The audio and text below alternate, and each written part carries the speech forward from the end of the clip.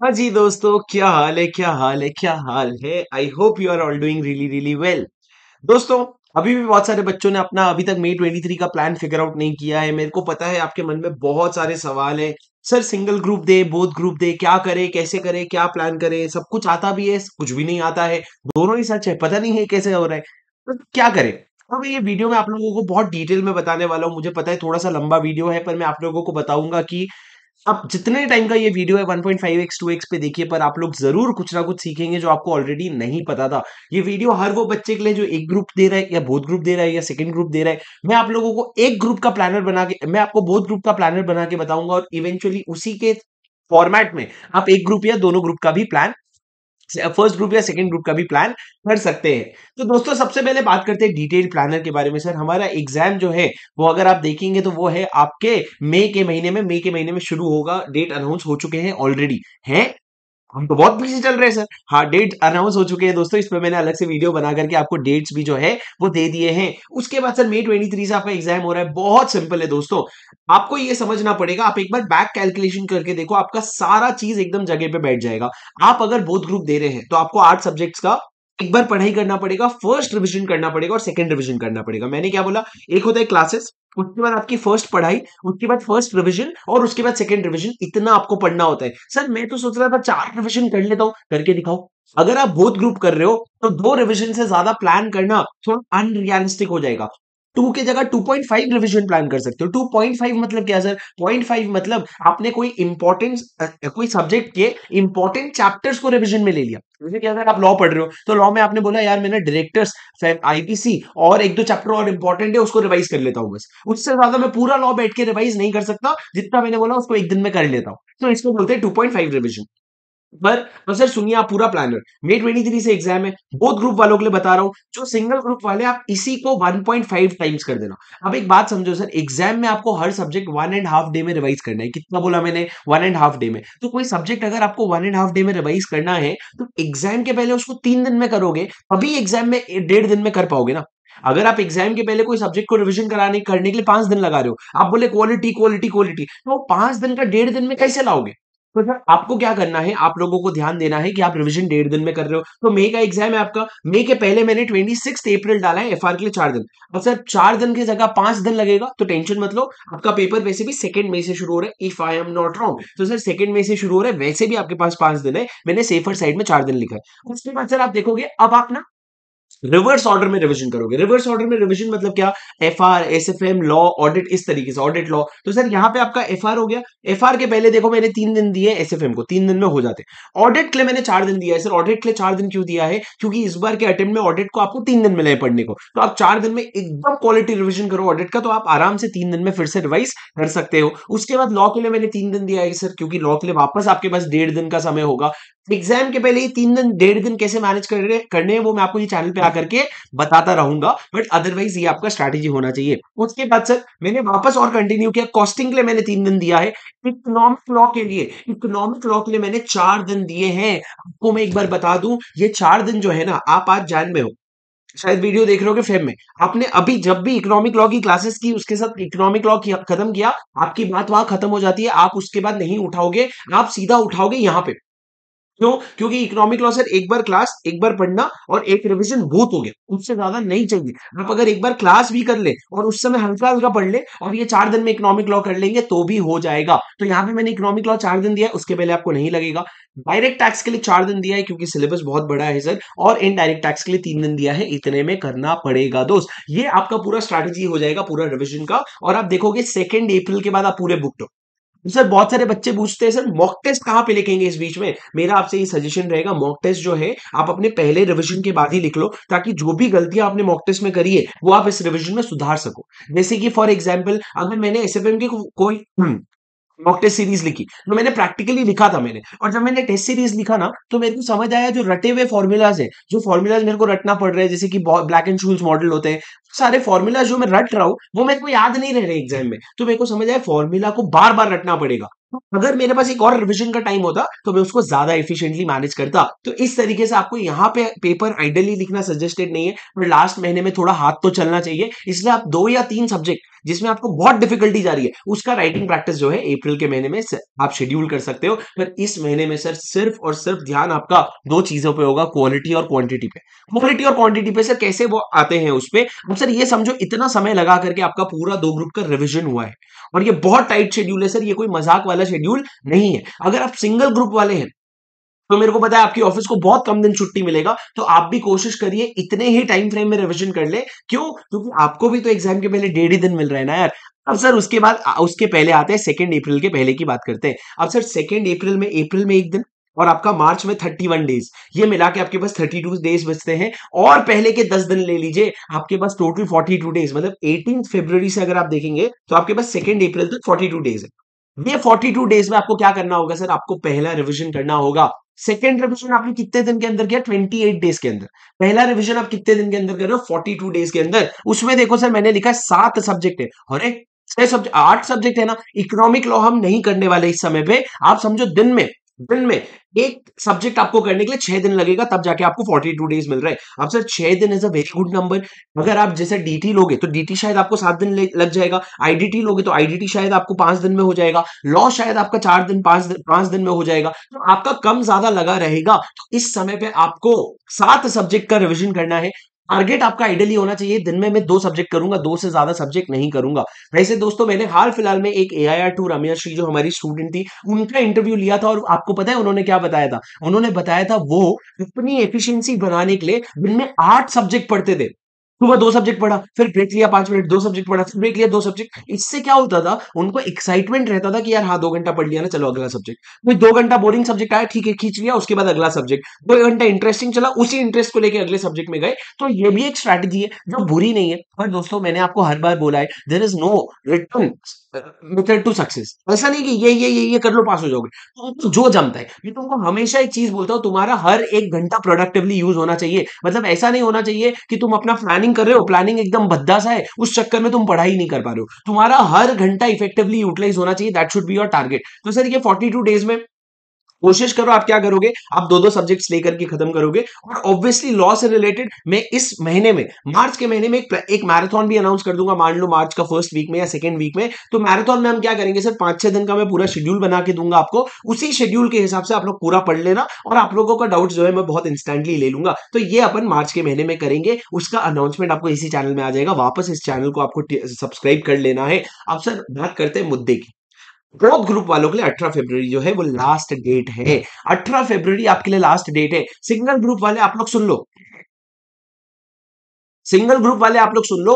आप लोगों के पास भी समय की कमी बहुत है, क्योंकि आप दे रहे हो बोथ ग्रुप बस आपका बोथ ग्रुप में एक आईसीआई का ग्रुप आता है और दूसरा ऑफ़िस आता है।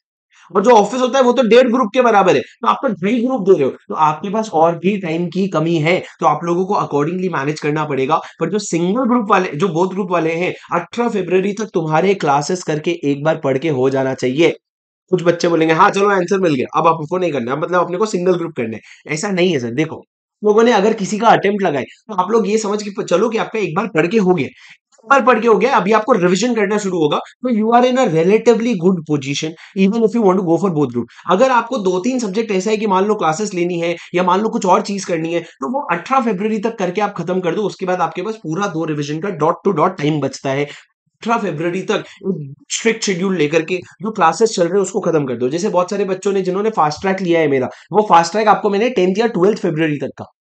हाँ दस या बारह फरवरी तक का मैंने आपको शेड्यूल दिया है, तब तक आपका खत्म हो जाएगा। वो ज़्यादा से ज़्यादा पंद्रह जाने तो उसके ऊपर जाने का नहीं। उसी तरीके से आप अपने क्लासेस को खत्म कीजिए। और कोई सब्जेक्ट में आपको वीकनेस लग रहा है, मान लो एसएफएम में फेल हुए हो तो एसएफएम खुद से सॉल्व करना शुरू कीजिए। जैसे कि आप पहली बार पढ़ रहे हैं अठारह फेब्रवरी और अठारह फेब्रवरी से मन बना लीजिए, मैं दो रिविजन करूँगा। कुछ बच्चे ऐसे भी होंगे, बोलेंगे अच्छा मतलब अभी अठारह फेब्रवरी से पढ़ना है क्या? ठीक है। नहीं दोस्तों टाइम जितना, ये आप देखोगे फोर्टी डेज़ में मैंने आपको मॉक टेस्ट का अलग से नहीं बताया है। आप एक दिन अगर एक एक दिन मॉक टेस्ट का इंक्लूड करोगे तो सात दिन वैसे ही कम हो जाते हैं। तो वैसे ही डेट ग्यारह फेब्रवरी आ जाता है। फिर आरटीपीज आएँगे एमटीपीज आएँगे, बहुत सारी अनप्लान चीज़ें होंगी। इन्होंने इकोनॉमिक इन्होंने लॉ में इतना बड़ा अमेंडमेंट डाला है, वो अमेंडमेंट आपको पढ़ना होगा। तो बहुत सारे अनप्लान चीज़ें होंगी तो समय को हल्के में नहीं लेना। The last thing that you want to do right now is take think that time is on your side time is not on your side it is on the opposite side you will have to win against time ठीक है? तो sir, ये आपका आज से लेकर के twenty आपका जब से भी लेकर के 18 फरवरी तक आप क्या करोगे? आप लोगों को क्लासेस खत्म करनी है, अपनी पढ़ाई करके खत्म करनी है। ये चीज़ें हो गई सर बेसिक ये तो हो गया आपका प्लानर जो आपको ब्रॉडली पता ही होगा। को बता देता हूँ सर कितने सब्जेक्ट दिन में पढ़ने मेरा पर्सनल सजेशन ये रहता है कि पहली बार क्लास कर रहे हैं और साथ में पढ़ाई कर रहे हैं तो आपको दो या मैक्सिमम तीन सब्जेक्ट रखना चाहिए, उससे ज़्यादा नहीं। मेरा पर्सनल सजेशन ये रहता है but it may vary from person to person जब आप फ़र्स्ट रिविजन भी कर रहे हैं तो मैक्सिमम दो सब्जेक्ट जब आप लास्ट डे रिविजन कर रहे हैं ना तो आप उस समय भी दो सब्जेक्ट रख सकते हैं, पर एक सब्जेक्ट रखना ज़्यादा सेंस बनता है। क्यों? क्योंकि देखो यार सिंपल सी बात है। अगर तुम एग्ज़ाम के पहले पढ़ रहे हो तो तुम पहले F R S F M का एग्ज़ाम दे दोगे, फिर ऑडिट तीन दिन पूरा थियरी पढ़ोगे लॉ दो दिन पूरा थियरी पढ़ोगे। पाँच दिन दिमाग में थियरी जाना भी तो चाहिए। हम क्या करते हैं? सुबह आठ घंटा थियरी पढ़ लिया फिर पूरा दिन प्रैक्टिकल करते हैं। तो हमारे हमारे दिमाग को आदत नहीं होती थियरी लेने की। तो जनरली मैं ये सजेस्ट करता हूँ कि लास्ट डे पे लास्ट रिविजन पे आप क्या करो? थियरी पूरा दिन करने की कोशिश करो जब आप ऑडिट पढ़ रहे हो। पूरा दिन थियरी जब आप लॉ पढ़ रहे हो तो आपको ये भी समझ आएगा कि कौन सा चैप्टर मेरे को सुबह करना चाहिए, कौन सा चैप्टर शाम को करना चाहिए।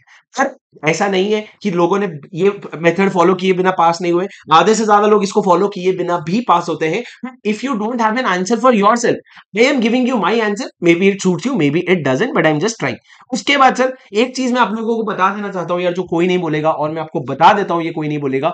दोस्तों लोगों के पास जितनी गलतियाँ आपने की है ना, सबको सुधारने का टाइम है अभी। बस तुम्हारे पास इच्छा होनी चाहिए। मैं तुमको बताता हूँ, मेरी पर्सनल स्टोरी एस का पेपर जो था, मैंने पहली क्लासेस ले ली, उसके बाद मैंने सॉल्व कर लिया पूरा। एक पूरा पढ़ करके एक बार खत्म होने के बाद, जब मैं पहली बार रिविजन में आया, जब मेरे को एसएफएम के कॉन्सेप्ट काफ़ी समझ आ गए थे तो मेरे को लगा, यार, ये आंसर तो गलत लग रहा है। एक आंसर गलत लगा, मैंने इग्नोर मारा। दूसरा आंसर मेरे को गलत लगा। दोनों आंसर गलत लगा तो मैंने स्टडी प्रैक्टिस मैनुअल खोल के देखा जो उस समय पे था। प्रैक्टिस मैनुअल जब मैंने खोला तो मेरे को समझ आया, यार आंसर तो मैच ही नहीं कर रहे। और मैंने चेक किया, मेरे को समझ आया, पूरा चैप्टर खराब है, पूरा चैप्टर के आंसर्स नहीं मैच कर रहे हैं। वो टीचर ने नहीं पढ़ाया। कोई टेंशन लेने की ज़रूरत नहीं है, वो टीचर अभी नहीं पढ़ाते हैं आपको एसएफएम किसी को भी नहीं पढ़ाते, उन्होंने पढ़ाना बंद कर दिया है, आप पैनिक मत करना। पर मेरा पॉइंट ये था कि उस समय पे जब मेरे को रियलाइज़ हुआ एग्ज़ाम के साढ़े तीन चार महीने पहले था मैं, मैंने पूरा का पूरा एसएफएम का नोट स्क्रैप किया, मैंने पूरा नया नोट्स बनाया ज़ीरो से and that is when I got eighty in S क्योंकि मैंने इतनी जान लगा दी उस सब्जेक्ट में कि मेरे को इतनी सारी चीज़ें समझ आ गई, मैंने बाहर की इतनी सारी चीज़ें पढ़ी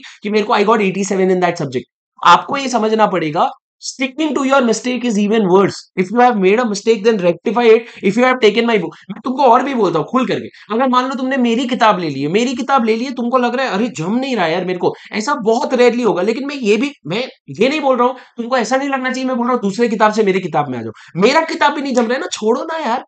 क्यों है मार्केट में इतने सारे किताब? ताकि तुम्हारे को कोई एक जमे, ठीक है? तो जो तुमको जमता है वो लेकर के आओ, उस किताब को पढ़ो, पर जो लेके आओगे ना, वो सही किताब लेके आना, ठीक है? तो इस तरीके से सर, आप अपनी चीज़ों को करो, अपने सारी गलतियों को रेक्टिफाई कर सकते हो अभी और आने वाले पंद्रह बीस दिन में it is not too late अगर आपको लगता है कोई सब्जेक्ट की मैंने क्लासेस नहीं ली है साढ़े तीन महीने में लॉ की मतलब साढ़े तीन महीने पहले क्लासेस लू के लो, बिंदास लो, क्योंकि सर आपको पता है, आपको क्या चाहिए, मेरे को नहीं पता है। मैंने एग्ज़ाम के साढ़े तीन महीने के पहले क्लासेस भी लिए, मैंने एग्ज़ाम के चार महीने पहले आईटीटी भी किया है, और मैंने बहुत सारी चीज़ें की मेरे को उस पॉइंट एंड टाइम में जो सही लगा, वो करना बहुत ज़रूरी है कि भैया मेरे को ये हेल्प करेगा कि नहीं करेगा। ठीक है? अब सर आगे मेरी बात सुनो। बहुत लोग पूछते हैं, सर आईसीआई मॉड्यूल पढ़ना शुरू किया, करूँ क्या? जैसे ऑडिट में लोगों ने पूछा था, मेरे को ना ऑडिट में थियरी में एकदम नहीं घबरा, एकदम घबराहट हो रही है। आईसीआई मॉड्यूल पढ़ना शुरू किया, मैं उनको ये कहता हूँ, पढ़ ले, दो चैप्टर पढ़ ले, अपने आप तुमको आंसर मिल जाएगा। पर फिर भी अगर तुमको लगता है कोई सब्जेक्ट एस हो गया, आपको लगता है आईसीआई मॉड्यूल सॉल्व करने, करो। बिल्कुल भी मत सोचो, करो बिकॉज़ यार that is what see everyone who is passing is doing something different but generally क्या वो करके कोई पास नहीं हो रहा है। तुमको अगर आईसीआई मॉड्यूल करना है, बहुत लोग आईसीआई मॉड्यूल करके पास होते हैं, तुम अलग से करो, कोई भी प्रॉब्लम नहीं है। तो सर आपको दो चीज़ें और बता देता हूँ। जब आप पहला रिविजन करोगे और सेकंड रिविजन करोगे तो फ़र्क क्या होगा? पहले रिविजन में क्वालिटी पे सबसे ज़्यादा ध्यान देना और क्वांटिटी पे भी सबसे ज़्यादा ध्यान देना। मतलब थोड़ा ज़्यादा टाइम लगा लो, पर एकदम हर चीज़ को समझ समझ करके बंद करना, निपटाना नहीं टाइम के अनुसार। जब आप सेकेंड रिविजन करोगे ना तो आप क्वालिटी पे मीडियम ध्यान दोगे क्वांटिटी पे हाई ध्यान दोगे मतलब क्या? आपका चार दिन के अंदर, पाँच दिन के अंदर, तीन दिन के अंदर रिविजन खत्म होना चाहिए, भले उसमें थोड़ी सी क्वालिटी इंपैक्ट हो। पर आपको इस चीज़ पे बहुत ज़्यादा ध्यान देना पड़ेगा। उसके बाद सर कितना रिविजन करना चाहिए? आइडियली दो। आप एक ग्रुप दे रहे हैं बोथ ग्रुप दे रहे हैं, फ़र्क नहीं पड़ता। दो रिविजन से ज़्यादा अगर आप कर रहे हैं तो शायद आप क्वालिटी रिविजन नहीं कर रहे। क्वालिटी रिविजन करो दोस्त, दम लगा के करो, सारी चीज़ें याद करो। आराम से बैठ करके अगर कोई आपके पास बहुत टाइम है, मान लो, एक ग्रुप दे रहे हो तो कोई चैप्टर कोई पेज पढ़ रहे हो, आपको लगा यार बहुत लिखा हुआ है, फालतू तो एक पेज में समर एक चार्ट में समराइज होएगा, बनाओ। ये होता है क्वालिटी रिविजन इसमें भले आधा दिन एक्स्ट्रा लग जाए, ये होता है क्वालिटी रिविजन रादर देन वही चीज़ घिसी पिटी तीन तीन चार चार बार आप पढ़ रहे हो। ठीक है सर उसके बाद मैं आपको हमेशा एक चीज़ बोलता हूँ, जो मैं आपको वापस दोबारा बता रहा हूँ कि भैया आप लोगों का जो है every hour that you spend has to be utilize very effectively क्योंकि ऐसा होता है कि आप लोग ना बहुत बड़ा बड़ा प्लान कर लेते हो, पर प्लान बोरिंग हो जाता है तो आप उसको अचीव नहीं करते हो। आप बस इतना ध्यान रखो, यार मान लो मेरा अभी एफआर चल रहा है और ऑडिट चल रहा है। पर मेरे को एफआर भी पढ़ने का मन नहीं कर ऑडिट भी पढ़ने का मन नहीं है और मैं शाम को पाँच बजे बैठा हूँ। मेरा रात को ग्यारह बजे सोने का टाइम है। छह घंटा मेरे को ना एफआर पढ़ने का मन कर रहा है ना ऑडिट तो आप एस का एक चैप्टर लेना अगर मन है तो लॉ का एक चैप्टर लेना, बैठना रिवाइज करके खत्म कर देना। उससे क्या होगा, जिस दिन लॉ पढ़ोगे, उस दिन ये छह घंटे बचेंगे ना तो आपका हर घंटा इफेक्टिवली यूटिलाइज होना चाहिए, ये बहुत इंपॉर्टेंट है। सर मेरी बात सुनो। बहुत सारे बच्चे ऐसे हैं जो अभी अभी तक भी अपने पिछले अटेम्प्ट के रिज़ल्ट से रिवाइव नहीं कर पा रहे। रोज मैसेज आते हैं। मैं भी बहुत सारी चीज़ें करने की कोशिश कर चुका हूँ, पर after a point in time no one can help you if you are not willing to help yourself ठीक है? और मेरे को पता है यार कितना भी कर लो ना, कितनी भी सपोर्ट कर लो। हम लोग आपको सिर्फ़ एक छोटी सी उंगली पकड़ा सकते हैं, पूरा हाथ पकड़ करके बाहर निकलना आपको है, ठीक है? हम लोग थोड़ा सा आपको बस, क्योंकि यार you are in phase right वो can someone else tell your whole, listen to your whole story and bring you out of it. It is practically impossible. जिस दिन आप लोग मूव ऑन करने का सोचोगे, उसी दिन आप मूव ऑन कर पाओगे। पर मैं आप लोगों को बता देता हूँ ऑलरेडी बहुत सारे ऐसे लोग भी हैं जो फेल हुए, उनको रिज़ल्ट नेगेटिव आया। पर वो समझे कि हाँ यार, मेरी गलती थी। कहीं ना कहीं मैं सोचू तो उन्होंने, मैंने जस्टिस नहीं किया अपने पढ़ाई के साथ। और जिन्होंने जस्टिस नहीं किया, वो क्या करते फिर से पढ़ने लग जाते हैं। तो दोस्तों, मैं आपको ये सजेस्ट करूँगा कि आप प्लीज़ वापस से बाउंस बैक होइए। पढ़ाई कीजिए। जो एक ग्रुप दे रहे हैं, चाहे वो ग्रुप वन या ग्रुप टू हो, तुम्हारे आगे आने वाले काम का सीज़न है। मार्च अप्रैल जो होता है, वो काम का सीज़न है। इतनी आसानी से तुम्हारा बॉस तुमको छोड़ेगा नहीं।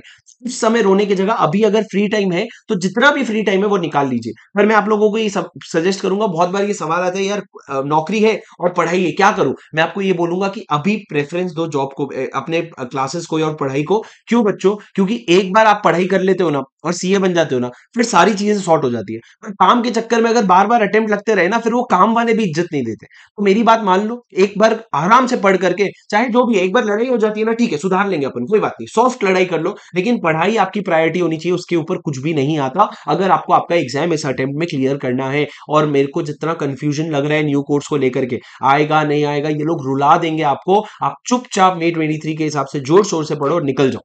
जितना दम है ना, ये मे 23 में लगा करके खत्म कर दो मतलब ऐसा दम लगा दो कि भैया फेल हुए ना तो समझ जाना नहीं मिलेगी मेरे को डिग्री मैंने पूरी जान झोंक दी इसमें, ठीक है? तो इस तरीके का अटेम्प्ट देने की कोशिश करो। And trust me you will be very much rewarded for all your efforts and guys just keep reading I be coming up with more and more videos मैं आपको प्रॉपरली गाइड करूँगा प्रैक्टिकल कैसे manage करना है theory कैसे manage करना है, कैसे चीज़ें पढ़नी है। बट पढ़ना आपको है यार। मेरा काम है गाइड करना बट पढ़ना आपको है। और उसके लिए दोस्त, एकदम स्ट्रिक्ट शेड्यूल बनाओ stick to it adhere to it और अपने आप को ना एक ऑर्डर दे दो कि अगर मैं कोई चीज़ पेपर पे लिख रहा हूँ ना that paper is guiding me that paper is controlling me या तो मैं पेपर में लिखूँगा नहीं कि मैं सुबह सात बजे उठूँगा और जो मैंने पेपर पे लिख दिया ना, मैं सात बजे उठूँगा तो मज़ा ले मैं ना उठू।